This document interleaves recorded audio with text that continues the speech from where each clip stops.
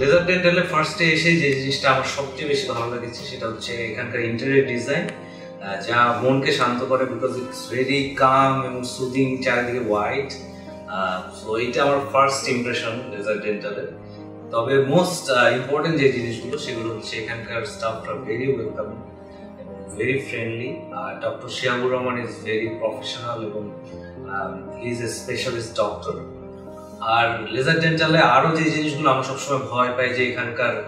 দাঁতের চিকিৎসা মানে হচ্ছে আপনার পেইন হবে বা একটা ভীত থাকার কথা সব পেশেন্টসরা থাকে এটা ইউজুয়ালি কিন্তু এখানে পেইনলেস ইঞ্জেকশন দিয়ে চিকিৎসা করা হয় এবং এখানকার লেজার ফ্যাসিলিটিস অনেক হেল্প করবে আপনাকে খুব স্মুথলি জিনিসগুলো সমাধান করতে। এবং এখানকার ট্রিটমেন্টে আমি খুবই মুগ্ধ।